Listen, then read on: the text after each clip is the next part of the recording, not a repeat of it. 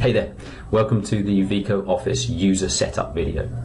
In this video we'll cover the three Vico Office system components, their configurations, the hardware and software requirements and also a series of videos for you to follow along on the installation process. This process should take you up to an hour depending on the speed of your machine. You'll need administrator rights to make a few system changes before you make the installation and you will be required to restart your machine before you start Vico Office for the first time. It is important that you watch the whole of the video so that you understand the complete installation process. Whilst uh, Vico Office is an extremely simple user interface, it does run on a very high-end enterprise class database engine.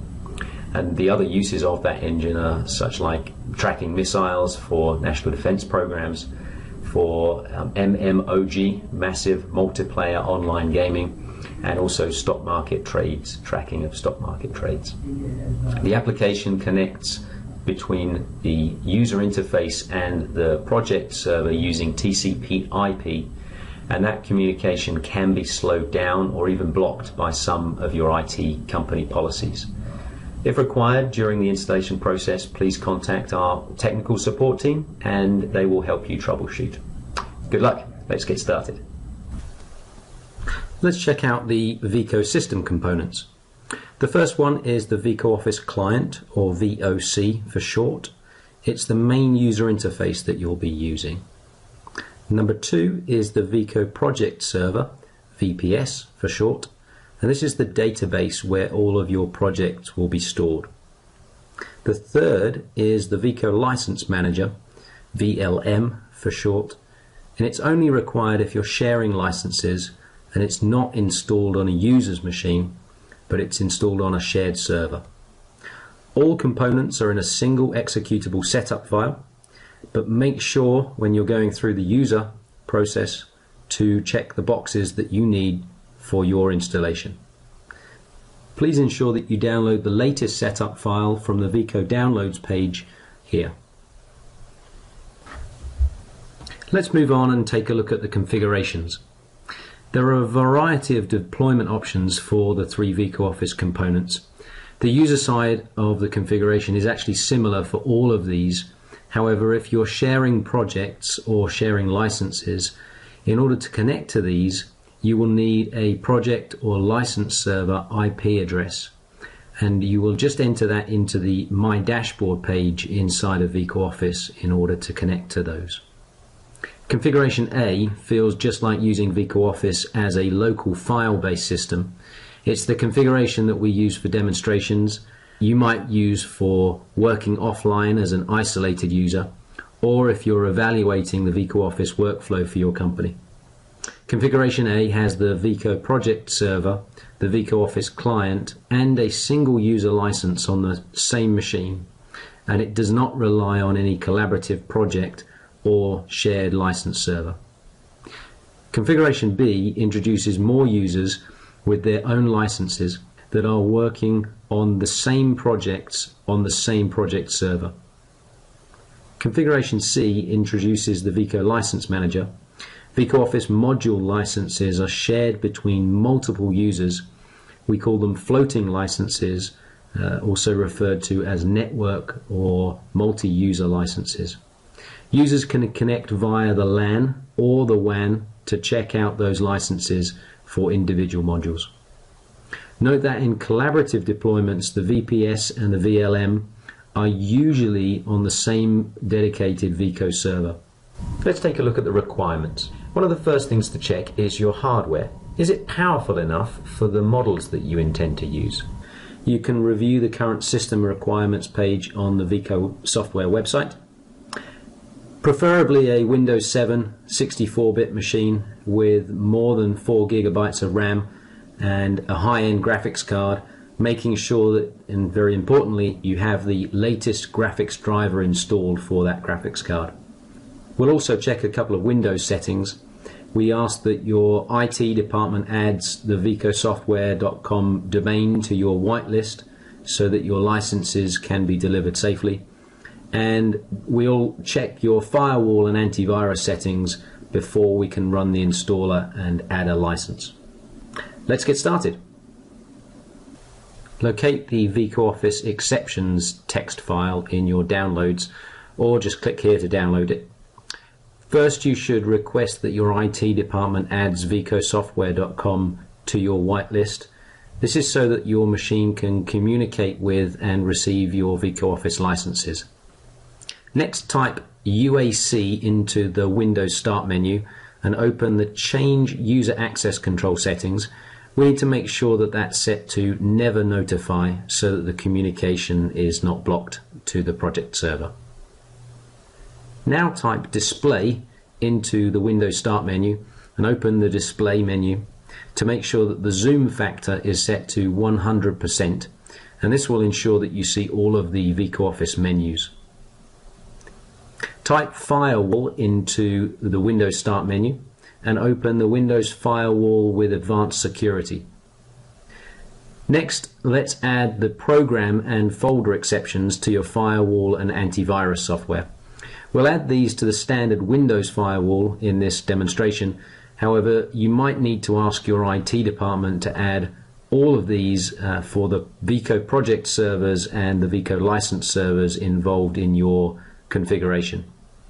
We'll now add rules for either the Versant folder or the executable files as program exceptions for in and outbound communication and then we'll add the ports again for in and outbound communication.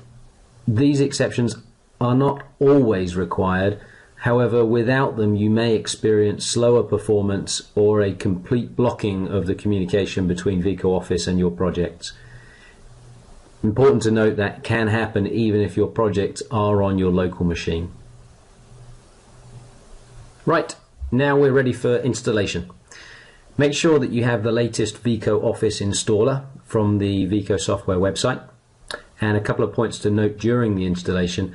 If you've already been using a previous version of the Vico Office application, you must make sure that you back up your projects either by packing them or by using the Vico Project Server admin tool, which is found in the Vico software folder in the Start menu.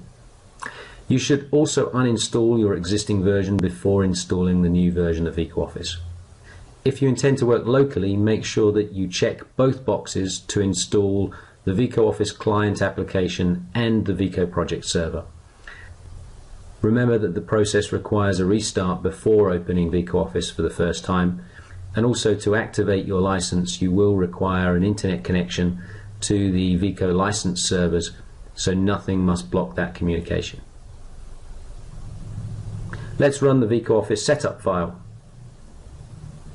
Note that decompressing and preparing that installer can take between 2 and 10 minutes depending on the speed of your machine.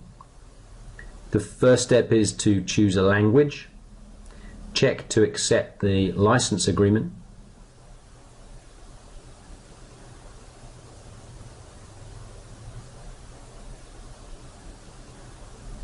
As we mentioned before, check both the Vico Office client and the Vico project server. The design related add-ons will be included automatically. However, if you need to add some BIM design software to your machine after the Vico Office setup, you will need to rerun the Vico Office installer to include those add-ons. We have sped up this installation, but when yours gets to the end, you'll be required to restart your machine.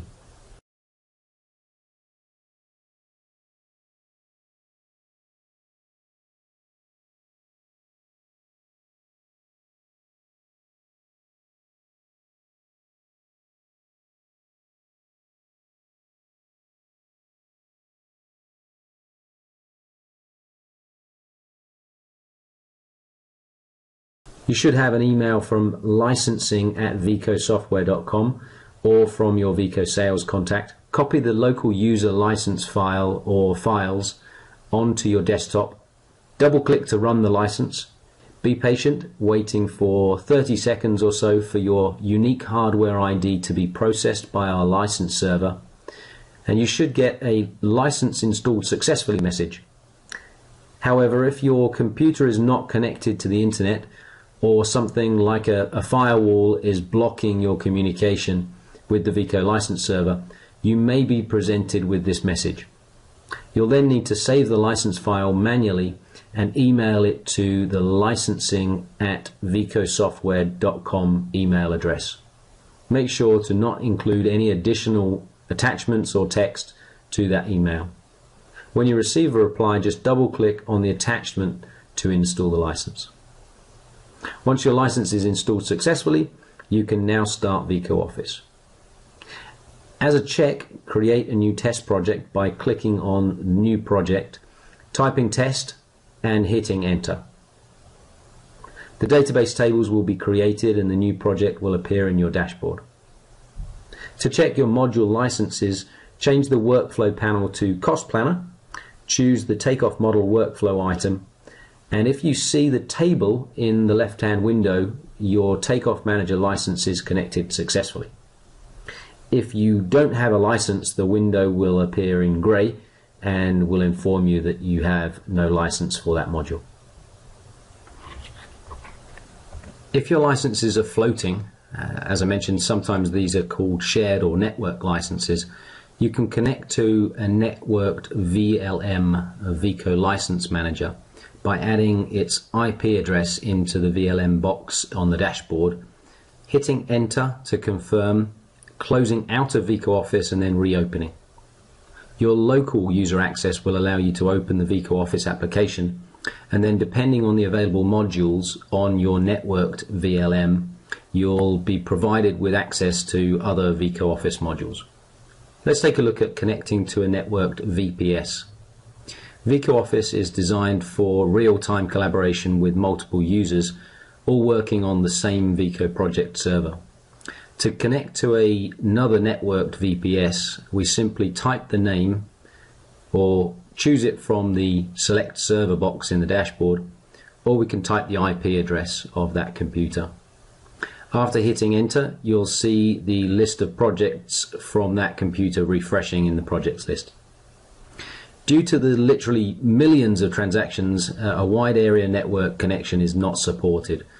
It needs to be a LAN connection with high bandwidth and low latency.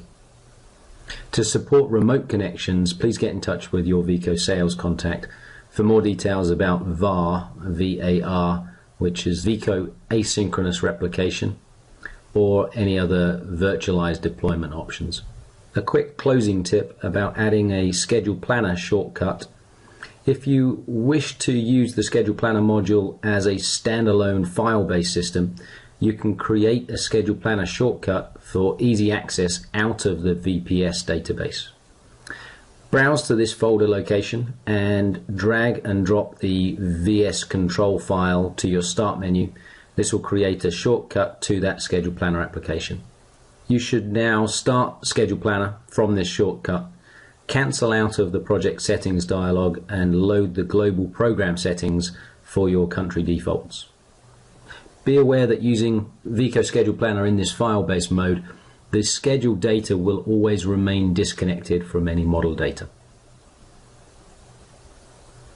In this video we covered the three system components, the Vico Office Client, the Vico Project Server and the Vico License Manager, the different configuration options for your Vico Office deployment, the hardware and software requirements prior to running the setup, and the installation process for the software and licensing. Hopefully you're set up now. We wish you the very best of luck as you start to learn this powerful, fully integrated and BIM-based virtual construction workflow. Here are some resources that will help you as you go forward. First one here is the Vico Office Structured Evaluation Process. It's a must for getting started uh, click by click set of videos that cover the basic virtual construction workflow.